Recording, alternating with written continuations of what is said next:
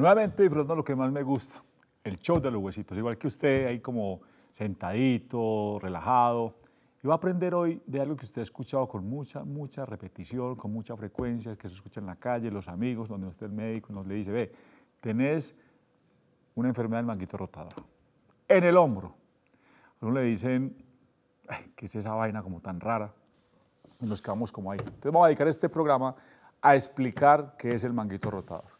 Georgie, ¿cómo vas? Jorge, bien hermano. Yo muy bien, mi hermano. Yo muy contento porque pues con vos lo hago más divertido, entretenido. Manguito rotador. Manguito rotador. ¿Qué te imaginas que es el manguito rotador? Eso iba a preguntar, ¿por qué se llama manguito? Bueno, ¿La forma? La forma que ¿El tiene. sabor o qué? No, eso no tiene sabor. Ah. Vamos, yo te invito a que te probes este manguito. Eh. Bueno, realmente aquí no tenemos manguito, tenemos unos tendones, pero vamos a explicar a los televidentes qué es el manguito rotador. Sí, ¿Me señor. parece? Muy bien. Parece. Es muy sencillo. Yo quiero que ustedes miren acá los huesos. Tenemos la escápula. Vamos a explicar qué es la escápula, George. La escápula u omoplato, también llamado paleta, que está aquí atrás. Entonces, esto que está aquí atrás se llama Me escápula. mareé, me mareé, me giró Eh, muy, rápido. La próxima vez te digo. Entonces, escápula. Y tenemos un hueso, que es el húmero, que es el que tenemos acá. Unido por qué? En este caso tú lo tienes unido por una laminita, pues porque eres un modelo anatómico que no eres real, mientras que aquí tenemos uno que es real. Tenemos un sistema ligamentario que une la cabeza del húmero a la escápula. La escápula tiene unas zonas anatómicas que son la espina de la escápula, tenemos el acromion, tenemos la clavícula, tenemos la apófisis coracoides que está por aquí adelante y tenemos la cabeza del húmero. Entonces, en sí, ¿qué es el manguito rotador? Es un conjunto de músculos, Georgie, no te voltees, hombre, mírame. Un Gracias. conjunto de músculos que dan una función de movimiento para el hombro y de coaptación, de permitir que la cabeza del húmero esté ahí articulada. El manguito rotador entonces está conformado por cuatro músculos. Uno que sale por acá, se llama el supraespinoso, y se pega en esta eminencia que es la mayor, que está aquí, que se llama toquíter. Ok.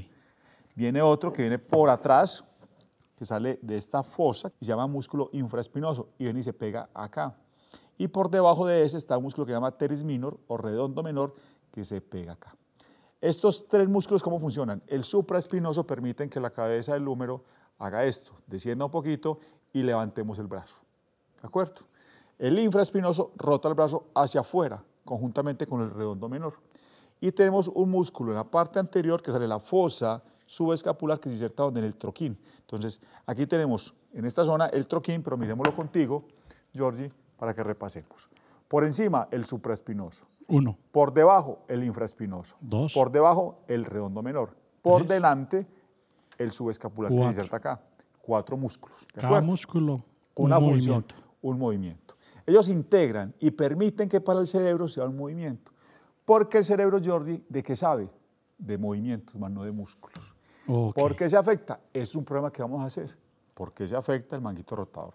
Aquí simplemente la descripción anatómica de cómo funciona básicamente eso. Entonces, para que te lo aprendas. Los músculos manguito rotador. Usted que extiende ropa, usted con el palo de escoba, con un clavito allá en la punta, que coge el blue en la reja del patio de su casa y tiene que levantar el palo, está trabajando el manguito rotador, más otros grupos musculares que intervienen para la función. La afección es la que vamos a ver en otro programa. Recuerda que si quieres saber más de esto y que sea pues intervenida por fisioterapia, por valoración, entonces en Arto nos encuentras. Y lo esperamos a ustedes en el show de la Huesitos. Hasta la próxima. Chao, chao.